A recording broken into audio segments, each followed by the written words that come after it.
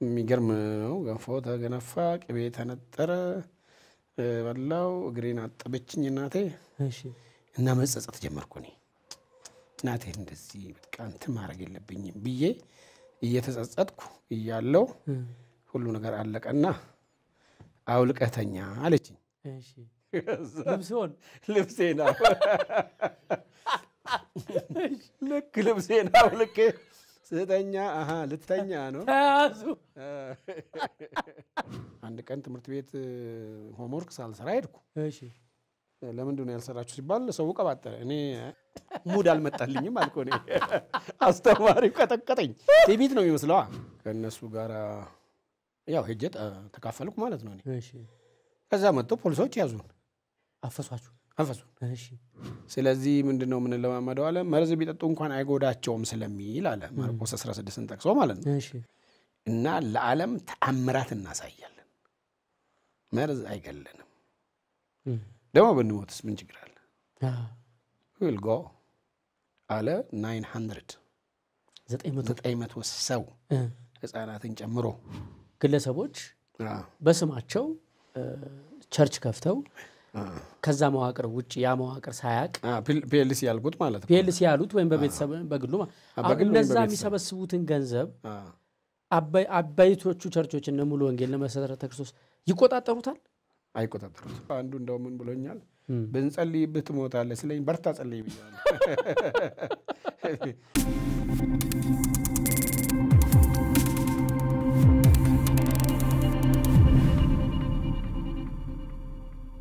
ሰላም ተመልካቾቻችን እንዴት ሰነበታችሁ? ጀግና መፍጠር በተሰኘው ፕሮግራማችን ዛሬ ደግሞ እጅግ በጣም የምንወዳቸው የምናከብራቸው በቃላቸው የሚያስተምሩ የሚያንጹ የሚያጽናኑ እንዲሁም ከሃይማኖታቸው የእሳቸው ከሚከተሉት ሃይማኖት ውጭ ያሉ ምዕመናን በፍቅር የሚወዷቸው አንድ አባት ጋብዘናል። የኢትዮጵያ ወንጌላውያን አብያተ ክርስቲያናት ህብረት ፕሬዚዳንት ፓስተር ጻድቁ አክብረውን እዚህ ድረስ ስለመጡና እንግዳችን ስለሆኑ እጅግ አድርጌ አመሰግኖታለሁ። እኔም አመሰግናለሁ ስለጋበዛችሁኝ። ልጆች ናቸው ብለው ሳይንቁን እጅግ በጣም ከአንገብጋቢ ስብሰባ ላይ ከከባድ ስራ ላይ ነው አንስቼ ይዤዎት የመጣሁትና በእውነት ስለሰጡን ክብር እግዚአብሔር ያክብርልን ነው የምለው። በድጋሚ የት ሰፈር ነበር እንደው የልጅነት ህይወት? እንግዲህ ያኔ አርሲ ጠቅላይ ግዛት የሚባለው እና እዛ ደጋ ላይ ነው የተወለድኩት። በልጅነቴ ትንሽ በጣም ኃይለኛ ነበርኩ እኔ ማለት አስገድደህ ምንም ነገር እንዳደርግ ልታስገድደኝ አትችልም። በማስገደድ አሃ አይ ጎሽ ጎበዝ ምናምን በጸባይ ነገር? ይሆናል እንጂ አስፈራርቶ ማዘዝ አይቻልም። የሚገርም ነው። ስለዚህ ልጆች ለመያዝ አልመችም፣ ለእረኝነት አልመችም እሺ እና ትንሽ አስቸገርኩ ማለት ነው እና ስለዚህ በጣም እስካሁንም አንድ የሚጸጽተኝ ደግሞ ነገር አለ እናቴ ላይ ያረኩት ማለት ነው። ያው እንደ ማንኛውም የገጠር ልጅ ያው በግ ጠብቅ ትባላለህ።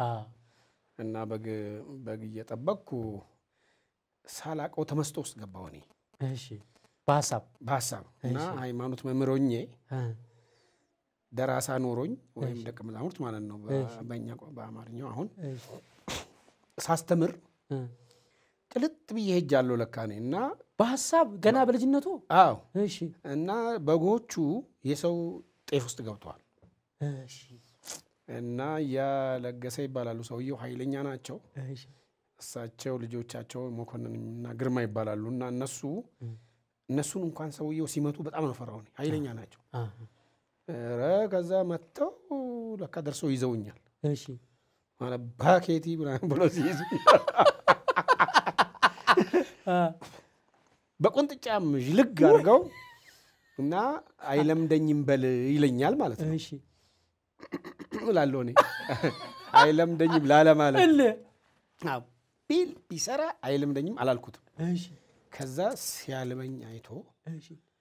ዋቀኮ ብሎ ትቶኝ ሄደ ማለት ነው። እና ወንዝ ተሻግሮ እና- እናቴ- ለእናቴ ለመንገድ ነው ሄደው እሱ። ልክ እሱ ትቶኝ ሲሄድ እኔ ደግሞ በፊት በጎች ናቸው የገቡት። አሁን ላሞቹንም ፈረሶቹንም አህዮቹንም ወስጄ ጨመርኩለት ማለት ነው።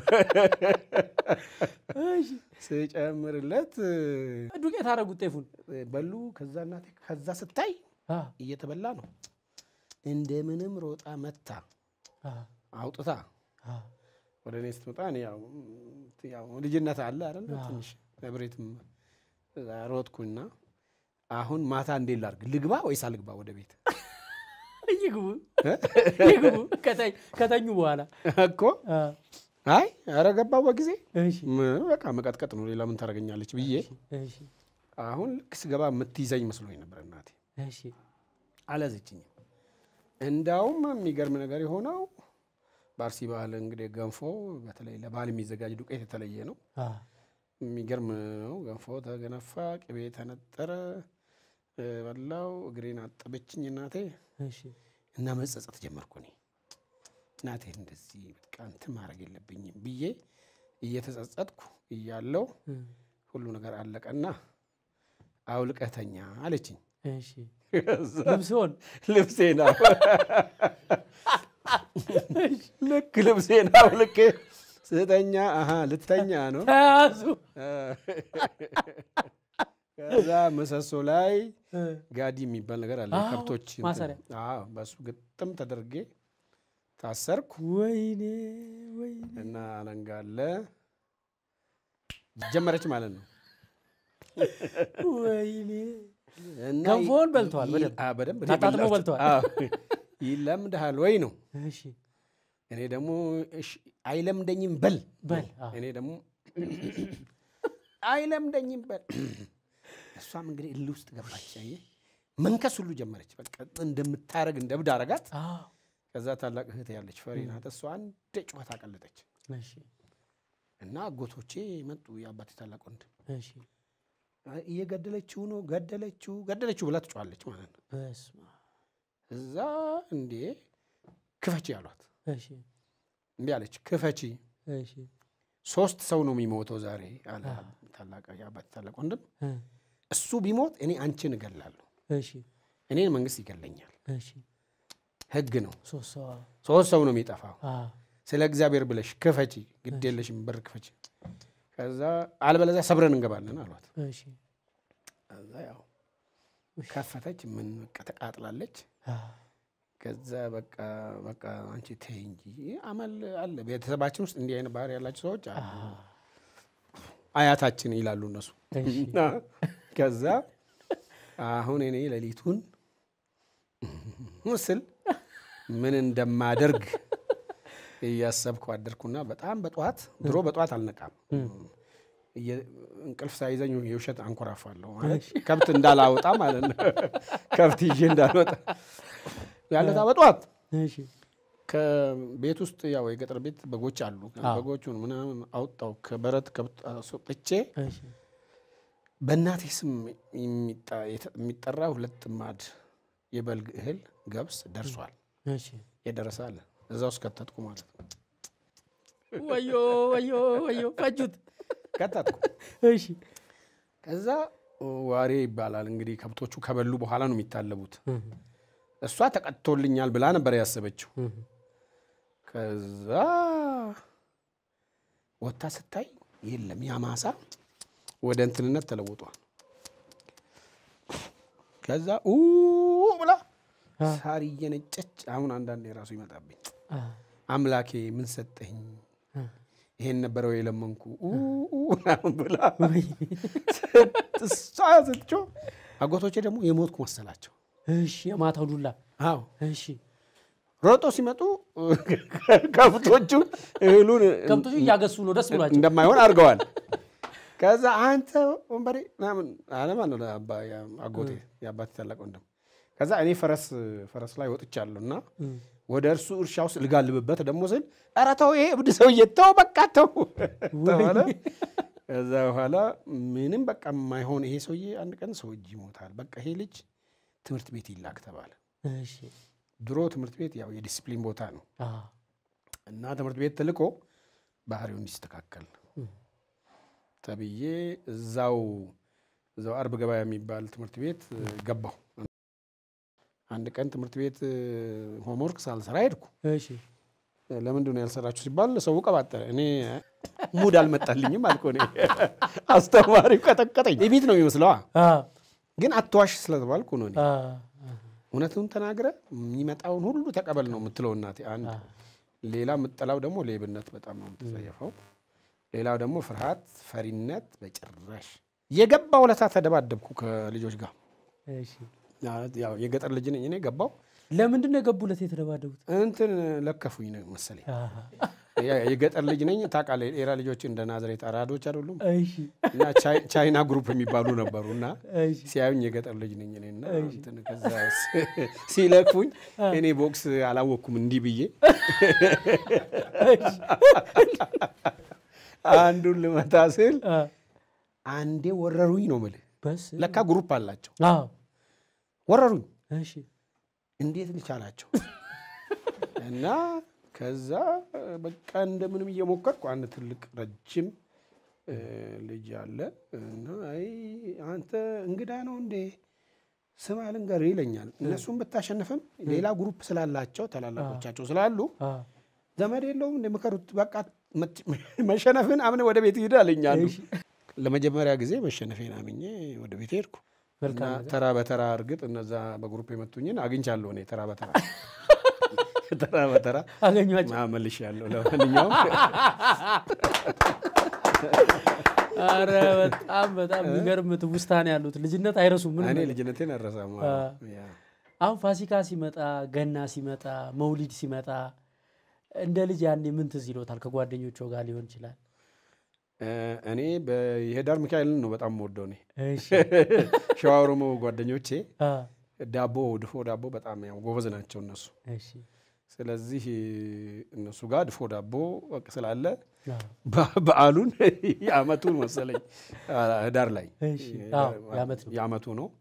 በቃ በደስታ ነው እኔ ያለሁት እና እኛ ጋር ደግሞ ረመዳን ሲሆን እነሱ ተምሩን ይፈልጉታል፣ ሾርባዋን በጣም ይወደዋታል። ስለዚህ ከእኔ ጋር መጥተው ባይጾሙም ረመዳን ይጾሙ ነበር እንዴ? እኔ ጾም ነበር። ሙስሊም ነበሩ እንዴ? አዎ፣ ይገርማል በጣም። ከተወሰነ ዓመት አዎ። እሺ የሃይማኖት ትምህርትስ የጀመሩት መቼ ነው? በልጅነቱ ምናልባት በሙስሊሙ ሊሆን ይችላል። ግን ትራንዚሽኑ የሃይማኖት ትምህርት በተለይ ይሄ ወደ እምነቱ የመጣሁት ጓደኞቼ እነዛ ወንበዴ ልጆች ጸባያቸው ተለወጠ። በጣም ጥሩ ልጆች ሆኑ። ምን ሆነው ነው እነዚህ ልጆች አልኩኝ እኔ። እና በላቸው ጌታ አሁን እንግዲህ ውጭ አልችለውም እኔ። ኳስ የእግር ኳስ ቡድን ነበረን የተለያየ ቡድን። እሺ። የእኔ ቴዎድሮስ ውስጥ ነኝ እኔ። ቴዎድሮስን በጣም ነው ማደንቅ የነበረውና ከዛ በላቸው ላይ እኔ ጠብቄ ፋውል ሰራሁበት እንደዚህ። ኳስ ላይ? ሳያውቁ ነው ሆን ብዬ እና እንደዚህ ስሰጠው በጣም አመመውና ጌታ ይባርክ አለኝ። ዋት እና ከዛ በኋላ መጫወት አልቻልኩም እኔ ይህ ሰውዬ ምን እያለ ነው ብዬ ቆይ እስቲ ብዬ ጨዋታው ሲያልቅ እና በላቸው እፈልጋለሁ አልኩት። እኔ መጥፎ ነገር ነው ያደረግኩብህ እና ጌታ ይባርክ አልከኝ ምን ማለት ነው አልኩት። ከዛ አይ እኔ አዲስ ፍጥረት ሆኛለሁ ምናምን አለኝ። የምን አዲስ ፍጥረት ነው ደግሞ? ቋንቋ ነው? ቁመት አንድ ከስልሳ አምስት ጸጉር ከዳዳ ምን እንትን ያደርጋል? የምን አዲስ ፍጥረት ነው የምትሆነው? አ፣ ያ የድሮ በላቸው አይደለሁም? ያው ራስህን ምን ታወራለህ? ይልቅ እንደዚህ የሆንክበትን ምክንያት ንገረኝ አልኩት። አይ እሱ እኮ አይደለም ማለት አሮጌው ሰው እንዴ ምን አሮጌ አዲስ ምትለኝ? እሺ በቃ ባህሬት ክርስቶስ እንደዚህ ለውጦኝ ምናምን ሲለኝ አይ በቃ እዛው ጋር ታቆማለህ ብዬ ተውኩት ማለት ነው። እሺ ብተውም የእነሱ ነገር በጣም ያው እንትኑ መከታተል ጀመርኩ ሁኔታቸውን።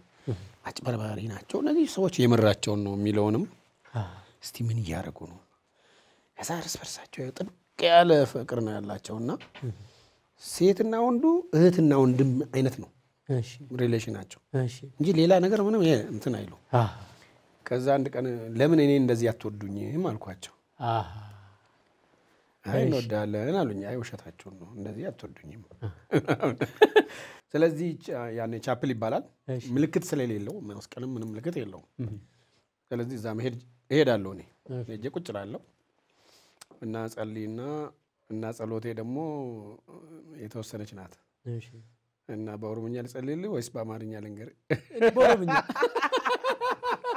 በኦሮምኛ ሰብታይትል እናሰራለን።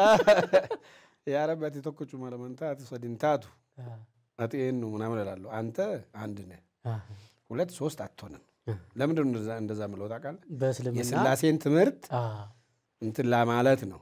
አዎ፣ defend ለማድረግ አዎ ራሴን ከዛ defend ለማድረግ ግን አንተ ለመሆኑ ማን ግራ ገባኝ። ማለት የነዚህ ኢየሱስ ኢየሱስ ስለሚሉ የነዚህ አምላክ ነው እንትኑ አልገባኝም። ሶስት የተለያየ ያለ ስለመሰለኝ እዛ እያልኩ ብቻ እንትን ስንል ስንል ወደዚህ ወደ እምነቱ ውስጥ በደንብ ወስኜ እኮ ሳልገባ ነው። አንድ ቀን ከእነሱ ጋር ያው ሄጄ ተካፈልኩ ማለት ነው። እኔ። እሺ፣ ከዛ መጥተው ፖሊሶች ያዙን፣ አፈሷችሁ። አንፈሱን። እሺ፣ ከዛ እኔን እዛ ውስጥ አየ ፖሊስ አዘዡ። እንዴ አንተ ምን ትሰራለህ የአብዷ ልጅ? እንዴ አንተ? ሲለኝ ምን ምን እሰራለሁ እንዴ? ለምንድን ነው ሄድከው እዛ ሲለኝ ልጸልይ። ወደ ማን? ወደ ኢየሱስ። ሃይማኖት ምንድን ነው እስላም ግራ ገባው ማለት ነው ሰውየውና ክርስቶስ ለእናንተ ብቻ ነው እንዲህ ሞተው አልኩት። ለዓለም ሁሉ አይደለም እንደሱ ምናምን በቃ ይሄ ግራ የገባው ልጅ ምናምን አለ። ብቻ እየገባው እየገባው ከዛ በኋላማ ዋና አስተማሪ እኔ ራሴ ሆንኩ የሚገርም ነው። እና ረጅም ነው እርግጥ እሱ ልክ ጉዞው ረጅም ነው። በዛው ረጅም ነው። እንግዲህ እስካሁን ድረስ ባለው ጉዞ ውስጥ በትምህርቱ ዓለም ምን ምን ላይ ደረሱ? ምን ምን ተማሩ? በስነ መለኮቱ ነው የቀጠልኩት እኔ። ስለዚህ በኬንያ አገር በ East Africa School of Theology የሚባል የመጀመሪያ ዲግሪን እዛ ሰራሁ በ theology በ theology እሺ፣ እዚህ ተመለስኩ በኋላ ደግሞ EGST የሚባል አለ። እስር ቤት አካባቢ ያለውን ታውቀዋል አዎ፣ እነሱ ሁለተኛ ባች ነኝ እንደው መሰለኝ። እዛ ደግሞ የኤምቲኤች ይባላል ለፒኤችዲ አንድ ሲቀር ማለት ነው። እሱን ሰራው በጥሩ ሁኔታ እና የሰራሁት በስላሴ ላይ ነው። ብዙ ጥያቄ ስለነበረብኝ የስላሴ ትምህርት ላይ ነው። ከዛ በኋላ ለፒኤችዲ ምናምን ለመቀጠል ሳስብ የቤተ ክርስቲያን ኃላፊነት ውስጥ ልክ ልጀምር ስር እየ- እየገባው እስካሁን አልተሳካም ግን የሚቀር አይመስለኝም በጣም ጥሩ። በአገልግሎት እስካሁን ምን ምን ቦታ ላይ ስንት ዓመት አገልግለዋል? በአብዛኛው የቆየሁት ባሌ ነው Skill Mart የትምህርት ልማት አክሲዮን ማህበር ለእኔ ጎባ ስሙ ገናና ስለሆነ ባሱ ዞሮ ሲቆም እኔ ሌላ ከተማ ነው የምጠብቀው እንደ አርባ ምንጭ ሴቻና ሲቀላ እንደሚባለው ማለት ነው። ከዛ ወደ መድኃኔዓለም church አለ ዳገቱ ላይ ከሱ በኋላ ነው ከተማ የምጠብቀው እኔ እና ሰው ሁሉ ሲወርድ እኔ ቁጭ ብያለሁ። እሺ፣ እንዴ አንተ ልጅ አትወርድም አለኝ። እኔ ቀጭን ነኝ ልጅ ነኝ። ይኸው ነው ከተማው አልኩት። አዎ አለኝና በጣም ብርዳም ነው፣ ጭቃ ነው፣ ይዘንባል። አይ ወረድኩ። የት ልሂድ? ከዛ ገነት ሆቴል የሚል አየሁ። ቁጥር ሁለት ነው ያደርኩት አስታውሳለሁ። ገብቼ ገነት ሆቴል አልጋ ያዝኩ። ብርዱ እንትን አለ። ጠዋት ራሱ ቶሎ አልተነሳሁም። አሁን ጠዋት ስነቃ ያኔ ጎባ መሀል ከተማው ላይ አየር ያርፋል። አሁን ተሰርቶበታል። እንዴት ፈልጌ ማንን ላግኘው? እሺ፣ እና አንድ ልጅ ጫውቱትን አንተ ልጅ እዚህ ሀገር ጴንጤዎች አሉ ወይ አልኩት። ምን ያለ ሰምተው አያውቁም። የለም። ከዛ ቆይ እስቲ አልኩና ሚስዮኖች ምናምን አልኩት። ኦ ገባኝ ገባኝ፣ ቆይ ገባኝ፣ አሁን ገባኝ፣ ቆይ አለኝና ጌታቸው ታደሰ ይባላል። እሱ ጋር ይዞኝ ይሄዳል። ህንዳውያን ጋር ይኖራል። ባለቤቱም እሱም እነሱን እያገዙ ይማራሉ። ጻድቁ ስል ሰምቻለሁ፣ ይርጋለም ስለ አንተ ሰምቻለሁ ምናምን አለኝ። እኔም አውቃለሁ አልኩት። እኔ በህልም አይቼዋለሁ። እውነት? አዎ እሺ፣ ቀይ ነው፣ ቆንጆ ነው፣ አይቼዋለሁ። እና የት ነው አይ ግድ ለቀስ ብዬ እነግርሃለሁ አልኩት። አሁን እኮ እኔ መዘምራን ጋር ሊሄድ ነው እና ምናምን ይዞኝ ሄደ ማለት ነው። ኤስአይም ይባላል አሁን ቃለ ሕይወት የሚባል church፣ እዛ ይዞኝ ሄደ። ከዛ እኔ መዝሙር የሆነ አስጠናሁ። የሆነ ያኔ ዝም ብለህ ትሞክራለህ፣ ድምፅም ባይኖር መዝሙር ነገር ሞከርኩ። ለካ ሲሞክር ምክንያት ነበረው ለነገሩ። ከዛ የሆኑ ወጣቶች መጡ እና እኔ ወንጌላዊ መሆኔን ስነግራቸው ክርስቶስ ልኮኝ ነው ምናምን ስላቸው ልጆቹ በቃ ከበቡኝ። እዛ የነበረው ሰውዬ ደግሞ ይሄማ አሳሳች ነው ምናምን አላቸው። እሱም አለፈና በቃ ትንሽ discourage ሆንኩና ልመለስ በቃ መመለስ አለብኝ ብዬ አንድ ሰው ብርሃን መጽሔት ላይ የኢሉባቦር ልጅ ነው ከደብረ ዘይት እንስሳት ጤና አጠባበቅ ተመርቆ ባሌ መመደቡን አውቃለሁ። አውቶቡስ ተራ ሲሄድ ሮቤ ሮቤ ይላል ገባው። ሮቤ ወረድኩ ባሌን ካወቅ። ከዛ አጋርፋ አጋርፋ ይላል ገባው። እሺ አጋርፋ ወረድኩና ወዴት- አባቴ ልሂድ? ስልክ የለ ያንዴ ስልክ የለ ሞባይል የለ ምን ይል ምን አባቴ ላድርግ አምላኬ ምራኝ እባክህ ምናምን ብዬ ወደ ግራ ታጠፍኩና ቀጥ ብዬ ወደ ሆነ ሰፈር ሄድኩ። ሆነ ወደ አንድ ቤት እሺ የሆነ ሰውዬ አጠገቤ ሲያልፍ ይሄ እንዲህ እያልኩ አሳለፍኩት። እሺ ከዛ ልጅ ልጅ ወጥቶ እባክህን አያነ መኮንን የሚባል ግብርና ሚኒስቴር የሚሰራ ረዳት የከብት ሐኪም አሁን በደንብ ስሙን ይዣለሁ እዚህ ነው ወይ ስለው ይሄ ቤቱ ነው ቆይ ልጥራልህ አለኝ። እሱን ጠራልኝ። ከዛ እሱን ሳገኝ ደግሞ ስንት ዘመን አብረን እንድኖር ነው እንላለሁ። እዛ ደግሞ እንደገና በቃ አንተ እግዚአብሔር ነው ያመጣህና መሄድ የለብህም ምናምን አሉኝ ማለት ነው። ቤት እንከራያለን ነው? አዎ። ስለዚህ ቤት ፈልገን አገኘን። እስከ መጨረሻው ደርግ የነጠቀን ቤት በኋላም መን- መንግስት ለውጥ ሆኖ እዛው አጠገብ መሬት አስር ሺህ ካሬ አግኝተን ቤት እስክንሰራ ድረስ የመጀመሪያው የመጨረሻው የሆነች ቤት አሁን እንደዚህ ልት- ልትወርቅ የደረሰች እሱን ተከራየን። ተከራየው እኔ ብቻዬን ነኝ። ወንዝ ዳር ነው፣ አደገኛ ነው። ከዛ እኔ ደግሞ ምንም ችሎታ የለኝም ማለት ይሄ ሻይ ማፍላት አልችልም። እኔ በእህቶቼ ተከብቤ ስላደግኩ አላውቀውም። ሲቸግረኝ ባደጋ ደወልኩ ማለት ነው። እሱ መጣ። እሱ ትንሽ ይችላል፣ ብዙ ነገርም ባይችል እንቁላል ጥብስ ይችል ነበር። ከዛ ሁለታችን ተያይዘን ቀጠልን። የባሌውን እንግዲህ ታሪክ ስንት ዓመት ተገለገለ? በበፊቱ ባሌን ጨምሮ ሲዳሞ ክፍለ ሀገር የሚባል ድሮ ጋሞ ጎፋን፣ ደቡብ ሸዋን፣ ከምባታና ሀዲያን ጨምሮ በሙሉ እዛ አካባቢ እኛ እናገለግል ነበር። ስለዚህ ከአንድ level ወደ regional ከዛ የአገር አቀፉንም ስራ አስኪያጅ ኮሚቴ ውስጥም እኔ ደቡብን ወክዬ እኔ ነበርኩ። መጀመሪያ ዲግሪን ሰርቼ ስመለስ መጽሐፍ ቅዱስ ትምህርት ቤት ኃላፊ እንዲሆን ጠየቁኝ። አይ እኔ ከገጠር ከጎባ ነው የተላኩት እዛ ተመልሼ ማገልገል አለብኝ አልኩ። እና ሌላ ሰው ጠቆምኳቸው። ሌላ ሰው ለአንድ ዓመት ሞከረ። እንደገና ወደ እኔ ተመልሶ መጡ። ከዛ በኋላ እሺ ብዬ ተቀበልኩ። እኔ እንደገና ከ I think ከዘጠና ሁለት ይሁን ብቻ ለአምስት ዓመት Bible college ኡን መራሁ። ከዛ ለስምንት ዓመት የኢትዮጵያ ሙሉ ወንጌል ቤተክርስቲያን በኃላፊነት መራሁ። ከዛ ወደ Bible college ኡ እንደገና ስጨርስ መለሱኝ። አራት ዓመት አካባቢ ሊሆን ሲል አሁን ያለሁበት ቦታ ደግሞ እጩ ተወዳዳሪዎች ይቀርቡ ሲባል ቤተክርስቲያን እኔም በእጩነት አቀረበች። እም። ስለዚህ አሁን እዚህ ደግሞ አምስት ዓመት ጨርሻለሁ ማለት ነው። በጣም ደስ የሚል ነው። አምስት ዓመት አንድ የምርጫ ዘመን አገልግለዋል።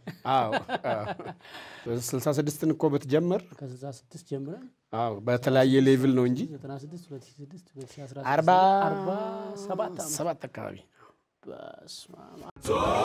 ከወንጌላውያን አብያተ ክርስቲያናት ህብረት የህብረቱ ፕሬዝዳንት የሆኑትን ፓስተር ጻድቁን ስንጋብዝላችሁ በ47 ዓመት የአገልግሎት ዘመን ውስጥ በወንጌል ውስጥ ከመቆየት ብዛት ያገኙትን እውቀት ያገኙትን ልምድ ያገኙትን ተሞክሮ ተጠቅመው ይመልሱልናል ብለን ያሰብናቸውን እጅግ በጣም ወሳኝ የሚባሉ ጥያቄዎች አዘጋጅተናል።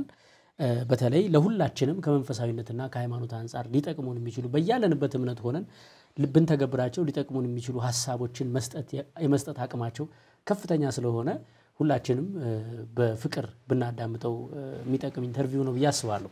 ፓስተር እርሶም ረጅም ዓመት ቆይተውበታል።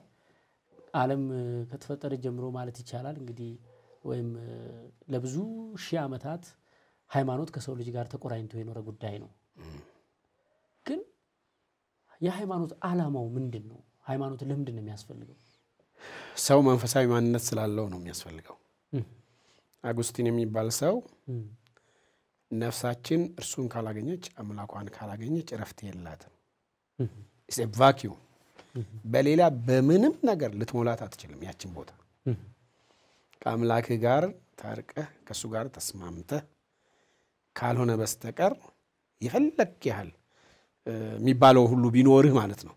ለምሳሌ መክብብ ላይ ሰለሞን ንጉሱ ጠቢቡ ሰለሞን ምንድን ነው የሚለው? ዓይኔን ከፈለጉት ነገር አልከለከልኩም ይላል። ደስታን፣ ብልጥግናን፣ ጋርደን፣ ሙዚቀኞችን ይህን ሁሉ ሰበሰብኩና ይህም ሁሉ ከንቱ ነው፣ ነፋስንም እንደመከተል ነው። ስለዚህ የከንቱ ከንቱ በሚለው መጽሐፉ ማጠቃለያው ምንድን ነው? የሰው ሁለንተና ይሄ ነውና ክፉም ይሁን ደግ እግዚአብሔር ነገርን ሁሉ ወደ ፍርድ ስለሚያመጣ እግዚአብሔርን ፍራ፣ ትእዛዙንም ጠብቅ። አንተ ጎበዝ በጉብዝና አውራት፣ ልብህን ደስ ይበለው፣ ልብህን ደስ ባለው መንገድ ሂድ። ግን ስለዚህ ጉዳይ ወደ ፍርድ እንደምትመጣ እወቅ ይላል አይደለም። ስለዚህ ሰው እግዚአብሔር ሲፈጥረው ከሱ ጋር ግንኙነት እንዲኖረው fellowship እንዲኖረው ህብረት እንዲኖረው አድርጎ ነው የፈጠረው። አጉስቲን አለ ያልኩህ ሰው ምን አለው? አካላዊ ማንነት አለው። ስነ ልቦናዊ ማንነት አለው። መንፈሳዊ ማንነት አለው። እነዚህ ተሟልተው መልስ ማግኘት መቻል አለባቸው። ለምሳሌ አብርሃም ማስሎው የሚባል ሰው hierarchy human need የሚውለው አለ። ሁላችን እንደምንለው የመጀመሪያው need የሰው basic need security need ይላል አይደለም። ቀጥሎ ደግሞ belonging ነገር አለ፣ self esteem እያለ ይቀጥልና self actualization የሚል ጋር ይደርሳል። እኛ እንደ ስነ መለኮት ሰዎች ደግሞ አይ አይደለም፣ መጀመሪያም ሰው በእንጀራ ብቻ አይኖርም ስላለ ክርስቶስ ከሚበላና ከሚጠጣ ስለተሟላልን ረፍት እናገኛለን ማለት አይደለም። መጨረሻም እሱ ከሌለ አናቱም ላይ እሱ ከሌለ አይሆንም። ስለዚህ ሰዎች በተፈጥሯቸው intuitive ሃይማኖተኛ ናቸው። ምንም ሃይማኖት ባትሰብክለት ዝም ብለህ ብትተወው ክፉና ደጉን የማወቅ አቅም ውስጣቸው አለ። የሆነ ነገር መከተል አለባቸው፣ religion የሆነ ነገር። ስለዚህ ለዚህ ነው የተለያየ እምነት ውስጥ የሚገቡት። ምክንያቱም እግዚአብሔርን የመፈለግ ነገር ውስጣቸው ስላለ የሐዋርያት ሥራ 17 ላይ እግዚአብሔርን እየፈለጉ እውነቱን ወደ ማወቅ እንዲደርሱ እግዚአብሔር እንደዚህ አድርገዋል ስለሚል ጳውሎስ ማለት ነው። በእርግጥ ሰፊ ነው ጉዳዩ። ሃይማኖት በጣም ጥልቅ የሆነ እናንተም በሰፊው ጊዜ ወስዳችሁ የተማራችሁት ነገር ነው። ግን ሃይማኖት አመሰራረቱ፣ አጀማመሩ እንደሚመስል አወራን።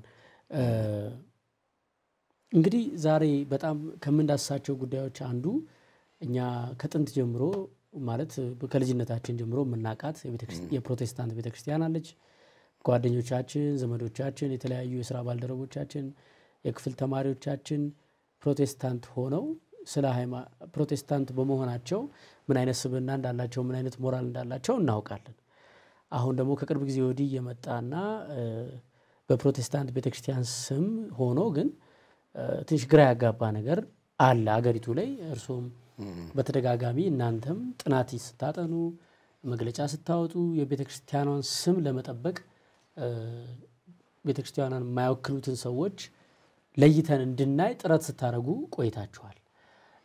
ከዚህ በኋላ እንደው በደንብ ቆይታ ብናደረግ ደስ የሚለኝ በተለይ ከቤተ ክርስቲያኗ ውጭ ያሉም ሰዎች ይህን ጉዳይ በአግባቡ እንዲረዱት እና እይታቸው የተንሸዋረረ እንዳይሆን ከፕሮቴስታንት ቤተ ክርስቲያን መዋቅር ጀምረን መዋቅሯ ምን ይመስላል? ፕሮቴስታንት ቤተ ክርስቲያን ለምሳሌ በኦርቶዶክስ ተዋሕዶ ቤተ ክርስቲያን ሲኖዶስ የሚባል አለ። ከዛ ሰበካ ጉባኤ ሊሆን ይችላል እያለ እያለ ወርዶ እያንዳንዷ ቤተ ክርስቲያን ውስጥ የሚከናወነው ነገርና የሚሾመው ሰው ከላይ በሲኖዶሱ የታወቀ ነው። ገንዘቡ የታወቀ ነው። የሚሰራው ስራ የታወቀ ነው። አዲስ ቤተ ክርስቲያን ሲሰራም እውቅና ተገኝቶ ነው የሚሰራው እና ጠንካራ መዋቅር አለ። በፕሮቴስታንት ቤተ ክርስቲያንስ የቤተ ክርስቲያኗ መዋቅር ምን ይመስላል? እንደው ቢነግሩን ከላይ ወደታች ያለ historical church ኦች በኢትዮጵያ ውስጥ የሚቆዩት ቤተክርስቲያኖች፣ ትልልቆቹ ቤተክርስቲያኖች መዋቅር አላቸው ከላይ እስከታች ማለት ነው። አንደኛ ስሙ ሲኖዶስ ባንልም ለምሳሌ ጠቅላላ ጉባኤ ቦርድ ይኖረናል። የሪጅን ለምሳሌ ክልል እንላለን፣ አንዳንዶቹ ቀጠና ይላሉ እያለ እስከ ታች ድረስ መዋቅር አለ። በእነዚህ ትልልቆቹ ቤተ እምነቶች ውስጥ ሰሚ አውቶኖመስ የምንለው ነገር አለ። አንድ ሰበካ ጉባኤ፣ አንድ አጥቢያ የምንለው የራሱ የግል ነፃነቶች አሉት። እነዛ ነፃነቶች ምንድን ነው? የዋናውን ደንብና አስተምሮ ሳይቃወም ሳይቃረን ለምሳሌ የራሱን አገልጋዮች የመሾምም የመሻርም ግን ሲሽር ደግሞ ሲሾምም በሕጉ መሰረት መሆኑን የግድ በእንደዚህ አይነት ነው እንግዲህ የቆየው። አሁን በህብረቱ ለምሳሌ ወደ ስልሳ ምናምን በላይ አሉ። እሺ እነሱ ህብረቱም የሚተዳደርበትም ስላለ የጋራ ስለሆነ እነሱ በሲስተም ነው የሚሰሩት። እሺ ከዛ ውጪም ሆነው ደግሞ independent አይነቶችም ቢሆኑ እንደዚሁ በንጽህና ምክርም ከነባሮቹም እየጠየቁ የሚኖሩና የሚሰሩ አሉ። ሌሎቹ ግን እንደ PLC ናቸው። ላክ- ልክ የአንድ ሰው ወይም የአንድ ቤተሰብ ስለዚህ የአንድ ቤተሰብ ወይም የአንድ ሰው ከሆኑ እና ቢጤዎቻቸውን ይሰበስባሉ። ማን ማንን ይጠይቃል? You know, this በጣም ከባድ ነው የሚሆነው። ለዚህ ነው አሁን ገቨርናንስ ምን መሆን አለበት። ስለዚህ እኛ ስለ ጉድ ገቨርናንስ ለምሳሌ ስልጠና እንሰጣለን። የቤተ ክርስቲያን ከማንም በላይ ብርሃን፣ ንጹህ የሂሳብ አካውንታችን ሰነድ ውጪ ቢወድቅ እና ቢገኝ ሰይጣንም ቢያገኘው ንጹህ መሆን መቻል አለበት የሚል አይነት አቋም። ስለዚህ ሌሎቹ ግን ቅድም እንዳልኩት አንደኛ ሃይማኖቱንም ሳያውቁ የሃይማኖት ትምህርትም ሳይኖራቸው ብድግ ብለው ነፃነቱ ስላለ ብቻ ያን በሚያደርጉበት ጊዜ ለእነሱም ጥሩ አይደለም፣ ለእናንተ ለራሳቸው ጥሩ አይደለም ብለን ብዙዎቹን በምክር ደረጃ መክረን አስተምረን ተወያይተን ብዙዎቹ አሁን ፖዚቲቭሊ የእኛ ምክርም እየተቀበሉ ነው። ግን ደግሞ ያም ቢቀበሉ ብዙ ጥቅም የሚጎልባቸው ስላሉ ያንን ተከታዮቻቸውን አሞኝተው እንደ አምላክ ራሳቸውን እያሳዩ ለመኖር የሚፈልጉ ሰዎች በጣም ከባድ ነው። በነገራችን ላይ ይሄ የአሜሪካ ችግር ነው። ብዙ ጊዜ ሰሜን አሜሪካ አካባቢ በናይጄሪያ ደግሞ አፍሪካ ውስጥ ናይጄሪያ ይሄ በጣም ይበዛዋል። ደቡብ አፍሪካ ውስጥም በተወሰነ መጠን አለ እና አንዳንድ ጊዜ ከልት ሄረሲ እያልን የምናጠናው ነገር አለ። ለምሳሌ አንተ በተከታዮች አእምሮ ውስጥ ራስን ስለ ስለ አግዝ ግዙፍ አድርገህ ከዛ በኋላ ወዴትም ብትወስዳቸው ይሄዳሉ ማለት ነው። እና አንድ ጂም ጆንስ የሚባል ሰው አሜሪካ ነገር ያደረገው እ፣ በጣም በቃ ይናገራል፣ ተናጋሪ ነው፣ ሰባኪ ነው። እና አንድ ቀን እስከ ዛሬ ድረስ ክርስቲያኖች ነን የሚሉ ሰዎች ጴንጤዎችንም ጨምረው ያልተለማመዱትን ነገር ነው የምንለማመደው አለ። እሺ እና እኛ ደግሞ ምንም ችግር የለም ብንሞት ደግሞ ከዚህ ቆሻሻ ዓለም ነው የምንሄደው ምናምን ደግሞ አለ። ስለዚህ ምንድን ነው የምንለማመደው አለ መርዝ ቢጠጡ እንኳን አይጎዳቸውም ስለሚል አለ ማርቆስ 16ን ጠቅሶ ማለት ነው። እንግዲህ ያ ሰው ሊመርዝ ቢፈልግ እግዚአብሔር ያድንሃል ነው እንጂ መቼም አንተ መመረዝ ፈልግ ማለት አይደለም። እሱን አትፈታተነው ነው። እና ስለዚህ ዛሬ ጽዋውን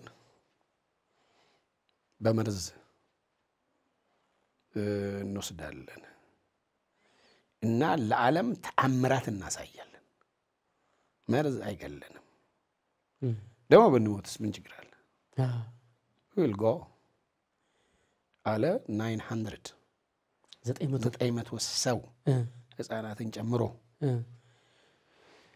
እየሳቀ ይሰጣል። ክሉት እየሳቀ ሲሰጥ ወዲያው እየሳቀ ሲሰጥ ወዲያው ጠቅላላ ከሞቱ በኋላ እሱም ስቆ ወሰደ ማለት ነው። አሪዞና ጫካ። ይሄ እኮ ማለት የምታገኘው ነው። ጂም ጆንስ ብለህ ብትፈልግ ታገኘዋልና የአሜሪካ መንግስት እንግዲህ ጫካ ላይ ሬሳ ለመሰብሰብ ነው የሄደው። አንዱ ደግሞ ኮሬሽ ነው። እኔ ደ- መሲህ ነኝ ብሎም እኮ የተዋጋ አለ። ከአሜሪካ FBI ወታደሮች ጋር እኮ የተዋጋ ሰውም አለ። ምን ብሎ? መሲሁ ነኝ? መሲህ ነኝ እኔ ብሎ። ስለዚህ አሜሪካን ሀገር እንደዚህ አሁን አሉ ሰው የስግብግብ prosperity gospel ሰው ስላቸው እኔ የስግብግብ ወንጌል ነው መላቸው እና እነሱ አይነት ሰዎች አሉ። ለምሳሌ አውሮፕላን አለ ምን አለ እነሱ ናቸው ሀብታም የሚሆኑት። እና አንዱ ሰባኪ ምን ብሏል? ክርስቶስ አምስት ሺህ ሰው መግቧል። የዛሬ ሰባኪዎችን ደግሞ አምስት ሺህ ሰው ይመግባቸዋል ብሏል። አንዳንዶቹም ማለት ነው። ስለዚህ ይሄ ነገር አደገኛ ነው። በሌላ አገር እንደ አሜሪካ ባሉ ሀገር ለምሳሌ ሰው ሲታመም መድኃኒት እንዳይወስድ ብትከለክል ልጆችም ቢሆኑ ትጠየቃለህ። አ፣ you have no right። አንተ አትውሰድ ከፈለክ ሙት። ሌላውን ሰው ግን መከልከል አትችልም። በተለይ ልጆች ሁመን ስሎተር ነው የሚባለው። ከባድ ወንጀል ነው የሚሆነው። እም፣ እምነቴ ነው ምናምን እያልክ መከልከል አትችልም። ስለዚህ አንዳንድ ጊዜ ይሄን ያነሳሁት ለምንድን ነው እንደዚህ አይነቶቹ እንግዲህ ነጭ ላይ አንድ ጥቁር ካየህ በቃ ለሰው ሁሉ ይሄው እነሱ እንደዚህ ናቸው አይነት ነው። እኛ ባለፉት ዘመናት የነበርን ሰዎች ምን ያህል እምነቱ ዋጋ እንደከፈል እናውቃለን። ከሞት ጋር ተወራርደን ነው እዚህ የደረስነው እና አሁን ግን በስመ ነጻነት ይሄ በሚሆኑበት ጊዜ ደረጀ የዘመረው መዝሙር ትዝ ይለኛል።? አወይ ነጻነት አወይ ነጻነት የሚል ደረጀ ከበደ ደረጀ ከበደ አሁን በዚህ ውስጥ እኔ ለማሳየት የፈለግኩት ምንድን ነው ለምሳሌ የሙሉ ወንጌል የመሰረተ ክርስቶስ ወይም የአማኑኤል የአንዱ church መዋቅር አለ። ከዛ ደግሞ አሁን አሁን ግለሰቦች በስማቸው church ከፍተው ከዛ መዋቅር ውጭ ያ መዋቅር ሳያቅ PLC ያልኩት ማለት ነው። PLC ያሉት ወይም በቤተሰብ በግሉ እነዛ የሚሰበስቡትን ገንዘብ አባይቶቹ church ኦች እነ ሙሉ ወንጌል እነ መሰረተ ክርስቶስ ይቆጣጠሩታል። አይቆጣጠሩትም፣ እነሱ ጋር ጭራሽ አይደርስም። አይደርስም። ለምን ደሞ አይደርሰው? አንደኛ እነሱም ሄደው የሆነ ፍቃድ አውጥተዋል አይደለ እንዴ? ከህዝብ የሚሰበሰብ ገንዘብ በተገቢው መንገድ ተግባር ላይ መዋሉ መቆጣጠር ያለበት መንግስት ነው እንጂ ፍቃዱን ከማን የሚወስዱ? ከእናንተ ከሙሉ ወንጌል መጥተው አይወስዱ። አይወስዱም ከአብያተ ክርስቲያናት ህብረት ከእናንተ ጋር ፍቃድ አይወስዱም። ግን affect የሚያደርጋችሁ ምን እንደሆነ ታውቃለህ? አልወሰድንም ፍቃድ ለብቻ አለንም ቢሉ የህብረቱ አባል ካልሆኑ ብዙ ተቀባይነት የላቸውም። ሰው ስለሚያውቅ ወደ ታች ወደ ገጠርም ስትሄድ አባል ካልሆንክ አውቋል። ሰው ይሄን አዎ። በደንብ aware አሁን በደንብ awareness አለው አይቀበልም ሰው። እሱ ስለዚህ ለምሳሌ እኛ መግለጫ ስንሰጥ እንግዲህ በጠቅላላ ጉባኤ የተወሰነ ነው እና እኔ እንግዲህ ስለመወክል እኔ መግለጫ ስሰጥ አንዳንዶቹ አንዳንዶቹ አንዱ እንደው ምን ብሎኛል ብንጸልይብህ ትሞታለህ ስለኝ በርታ ጸልይ ብየዋለሁ። አንተም አልሞትኩ እንኳን እኔ በደንብ ጸልይ ብየዋለሁ። እና እስከ ብዙ ድረስ ነው የሚደረሱት። ግን ይሄ ራሱ ምን ማለት ነው? ሰዎቹን አይደለም እኛ የምንቃወመው፣ ሰዎቹን አንጠላቸውም። ድርጊቱ ግን መኮነን ያለበት ድርጊት ነው። በሃይማኖት ስም ቢዝነስ ማካሄድ አይቻልም። ቢዝነስ ከሆነ እርግጥ ይሄ አየህ ቀረጥ የለውም፣ ቀላል ነው። በሚገባ አየር ላይ አየር ደረሰኝ የለውም። እና እኛም አሁንም የምንመክራቸው በ system ለራሳቸውም ደግሞ ያስወስኑ ከፈለጉ ምንም ችግር የለውም። በ system ይስሩ። አንድ የሚያስተምሩትም ትምህርት ግን የሰው ሕይወት ላይ የሰው ጤና ላይ አደጋ እንዳያስከትል መጠንቀቅም አለባቸው። እንደው እዚሁ ላይ ፓስተር አሁን አንዳንድ በቴሌቪዥን ቻናሎችም እየበዙ መጥተዋል። የግለሰቦች የቴሌቪዥን ቻናሎች በሃይማኖት እሱ ባይኖር እኮ አይኖሩም እነሱ ቻናል ባይኖር የሉም እኮ አየር ላይ ነው እንጂ ያሉት መሬት ላይ የሉም እኮ። ስለዚህ እስቲ እናንተ እውነት የእግዚአብሔር ሰው ከሆናችሁ አልኩ እኔ። እስቲ ከቻናል ወርዳችሁ እናያለን እግዚአብሔር ሲሰራ እና የለም ስከታተል በቻናል ምን ያለው መሿሿማ ያለው ለምሳሌ በእንዲህ አይነት የግል ቸርቾች እዛው መድረክ ላይ አንደኛው አንደኛውን ይሾመዋል። ትንቢትነት ቀባውህ ይለዋል፣ ነብይነት ቀባውህ ሊለው ይችላል። ወይም ደግሞ ከዛሬ ጀምሮ መጋቢ አድርጌሃለሁ አገልጋይ። ግን እነዚህ ዋጋዎች ድሮ ስናቅኛ በድሮ ጴንጤ ጓደኞቻችን ቤተሰቦቻችን ስናቅ በጣም ዋጋ ተከፍሎ በትምህርት የሚገኙ ነበሩ። ያ ህይወትም ትምህርትም ለዛ የሚያበቃ ባህሪ ህይወት የትምህርት ዝግጅትም ተሰጦም እም፣ መጋቢ ለመባል እኮ ማስተማር መቻል አለብህ። እም፣ ታስተምራለህ ወይ? እም። ከአስተማሪ ለመሆን ደግሞ ማወቅ አለብህ። እንግዲህ አንዳንድ ጊዜ እንትኑ ሲያቅትህ ዋናውን ነገር ስታጣ በሹመት ስያሜ ነው የምታካብደው። የምታካክሰው በዛ አዎ፣ አዎ። ለምሳሌ ፈሪሳውያንን ክርስቶስ ምን አለ? መምህር መባል ትፈልጋላችሁ፣ መምህር አትባሉ፣ አባት አትባሉ ያለው አባት መምህር ማለት ይቻላል። ግን ይህን እያመለኩ ግን ስያሜ ብቻ ሲያመልኩና እንደ ስያሜው የማይኖሩ አዎ፣ ስያሜ የሚጠይቀው ብቃት ከሌላቸው ምን ዋጋ አለው? ከንቱ ነው። አንድ ሰው ፓስተር ለመባል በፕሮቴስታንት ቤተክርስቲያን ምንድን ነው ማድረግ ያለበት? ሊለያይ ይችላል። ግን በዋናነት አንደኛ ማስተማርና መስበክ ይችላል ወይ ነው አንዱ። ሁለተኛ ደግሞ ሰውን ለምሳሌ ሰው መጎብኘት፣ ማጽናናት ማለት ለሰዎች የሰው ችግር ገብቶት የእረኝነት አገልግሎት ይባላል። ማለት አንድን ሰው ከችግር ውስጥ እንዲወጣ counseling የምንለው ሌሎች መሪዎችን ማሰልጠን የመማርስ መስፈርት አለው? መማር አለበት የሚል መስፈርት አለ? ብዙዎቹ አላቸው። አሁን አሁን በጣም ብዙዎቹ አላቸው። የግድም ነዋ ማለት ህዝቡ እኮ ተምሯል እና ያልተማረ ካልተማርክ ህዝቡን እንዴት አድርገህ ነው የምታገለግለው? ህዝቡ የተማረ ነው። አንተ የምታወራው ሌላ ነው። እንዴት ይሆናል? ፓስተር ቃሉ ራሱ ምን ማለት ነው? እረኛ እንደማለት ነው። እረኛ ማለት የሚንከባከብ፣ የሚመግብ፣ የሚታደግ የቆሰሉ ካሉ ለምሳሌ እረኞች የተሰበሩ ወጎችን ይጠግናሉ፣ ይችላሉ። እንደ ወጌሻ የሚገርም ነው። ይሸከማሉ፣ ትንንሾቹን ይይዛሉ፣ የሚያጠቡትን ቀስ አድርገው ይመራሉ ይላል። ስለዚህ ሰውን እንደ ሁኔታው ስለዚህ መስፈርቱ መለኪያው ይሄ ነው ማለት ነው እንደ ስሙ። አሁን ከቅርብ ጊዜ ወዲህ በተለያዩ ሚዲያዎች በአካልም ከምናውቃቸው ሰዎች ምን እየሰማን ነው? prosperity gospel ወይም የብልጽግና ወንጌል የሚባል ትምህርት ምን አይነት ነው? ይዘቱም ልታገኝ ነው፣ ሊሳካልህ ነው፣ ታገኛለህ፣ ትለወጣለህ ብሎ ከቁሳዊው ዓለም ጋር የማገናኘት የሰዎችን ስኬት ልመናቸው ሁሉ ገንዘብ፣ ቁሳቁስ እንዲሆን የማድረግ ከዛ ደግሞ ያው ልታገኙ ነው ብሎ ተስፋ ከሰጡ በኋላ ትንሽ ደግሞ ለእግዚአብሔር ስጡ ብሎ የመቀበል process ያለው ትምህርት እያየን ነው እየሰማን ነው። እና በመጽሐፍ ቅዱስ ደግሞ እንግዲህ አስቀድማችሁ ጽድቁንና መንግስቱን እሹ በኋላ ሁሉም ይጨመርላችኋል ይላል። እግዚአብሔር የሚፈልገው መጀመሪያ መኪና ስጠኝ እንድለው ሳይሆን ኃጢአቴን ይቅር በለኝ ነፍሴን አድንልኝ እንድለው መሰለኝ እኔ በመጽሐፍ ቅዱሱ። ከዛ እሱ መኪናው፣ ቤቱ፣ ልብሱ ምናምን ምርቃት ነው፣ ተራ ነገር ነው ለሱ። እኔ ልቤ ወደዛ ከሆነ እሱ ሊሰጠኝ ሊጨምርልኝ ቃል ገብቷል ብዬ አምናለሁ። እና ይህ አይነቱ ትምህርት በፕሮቴስታንት ቤተክርስቲያን እይታ ተቀባይነት አለው።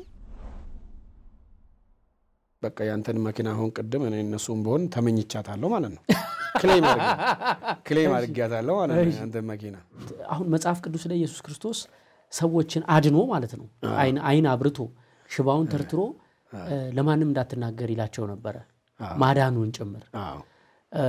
አሁን ደግሞ ምን እያየን ነው? ሰው አዳንኩ ብሎ ማዳኑን በቴሌቪዥን ራሱ ነው የሚነግረን። ማስታወቂያ የሰራባቸው ማስታወቂያ በደንብ ነው የሚሰራው ለዓለም ማለት ነው። ሰዎቹ በህይወት ላይኖሩ ይችላሉ። በነገራችን ላይ እንዴት እነዛ ዳኑ የተባሉ ሰዎች አሁን በህይወት የሌሉ ሊሆኑ ይችላሉ። ሞተ ሁሉ ሊሆን ይችላል። አዎ በየሳምንቱ በሰላሳና በሀያ ሺህ ብር ኮት ለሚቀይር ሰው እግዚአብሔር የትንቢትን ጸጋ ይሰጣል? የእግዚአብሔር ስራ ከእግዚአብሔር ስራ ጋር አይጋጭም? በዚህ ደረጃ ሀብታም መሆን እነሱ አሁን እንደዚህ ጥያቄ በጠይቃቸው እኔም ብመልስ ቀንታችሁብን ነው ነው የሚሉ ህዝቡም እንግዲህ እያየ እየተበላ አንዱ ሲበላ ሲወጣ ሌላ ሲገባ ሲበላ ሲዳረስ መጨረሻ ላይ እንትፍ ብሎ በኋላ ዞር ብሎ የሚያያቸውም ሊጠፋ ይችላል። የአንተን ሾው አይቼ ነበረና እውነትን መናገር ያስፈልጋል። ማለት የምንገልጽበት መንገድ ይለያያል። አንተ እንደ ኮሜዲያን ገለጽክ፣ ሌላው በደረቅ በደረቁ ያለማወራረጃ ይሰጣል። ግን የምናውቀውን ነገር እኮ የምናየውን የምናውቀውን ነገር መናገር አለብንና አንዳንድ ጊዜ አይንን ጨፍኖ በቃ ጭራሽ አይደለም ልክ ከማለት እነዚህ ሰዎች የሚናገሩት ልክ ይሆን እንዴ? እስቲ ራሴን ልመርምር ማለትም እኮ በሃይማኖት ብትኖሩ ራሳችሁን መርምሩ ይላል መጽሐፍ ቅዱስ። አገር በትምህርት ጥራት መሰረትነት ትገነባለች። Skill Mart የትምህርት ልማት አክሲዮን ማህበር ደግሞ የዚህ ራዕይ ባለቤት ሆኖ ኑ አክሲዮን ግዙና አብረን እንስራ ይለዎታል። ከ KG እስከ ኮሌጅ የመገንባት ራዕይ ያለው Skill Mart አክሲዮን የመሸጫ ጊዜውን ለተወሰነ ጊዜ አራዝሟል። መግዛት የሚቻለው መደበኛ ዝቅተኛ የአክሲዮን መጠን 10 ሺህ ብር ሲሆን የመስራች ጥቅም የሚያስገኘው አክሲዮን 100 ሺህ ብር ነው።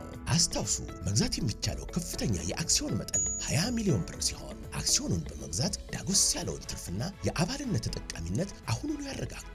አክሲዮኑ አቅራቢያችሁ በሚገኙ የህብረት ባንክና የአቢሲኒያ ባንክ ቅርንጫፎች ይሸጣል። በውጭ ሀገራት የምትገኙ ኢትዮጵያውያን የባንኮቹን SWIFT code በመጠቀም አክሲዮኑን መግዛት የምትችሉ መሆኑን ያበስራል። አድራሻ መገናኛ እንግሊዝ ኤምባሲ አካባቢ ከምስራቅ አጠቃላይ ኮሌጅ ፊት ለፊት። ለበለጠ መረጃ በስልክ ቁጥሮች 0927 000333 0928 000333 ይደውሉ። Skill Mart የትምህርት ልማት አክሲዮን ማህበር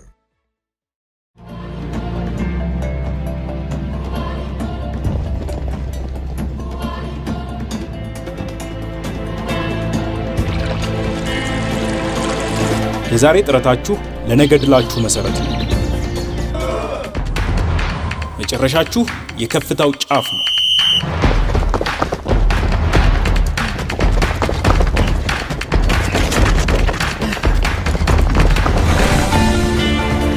የከፍታውን ጫፍ አብረን እንርገጥ። ቶፕ ውሃ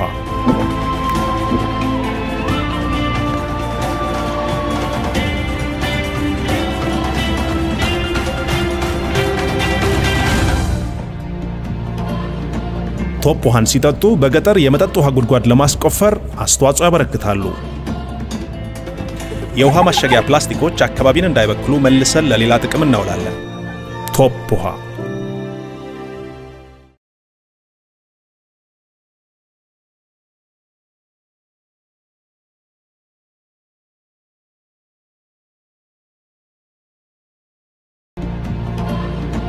Top ውሃን ሲጠጡ በገጠር የመጠጥ ውሃ ጉድጓድ ለማስቆፈር አስተዋጽኦ ያበረክታሉ። የውሃ ማሸጊያ ፕላስቲኮች አካባቢን እንዳይበክሉ መልሰን ለሌላ ጥቅም እናውላለን። Top ውሃ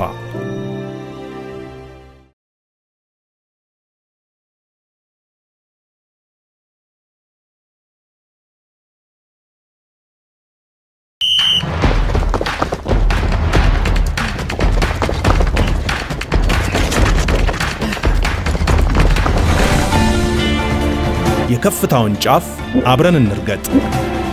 ቶፕ ውሃ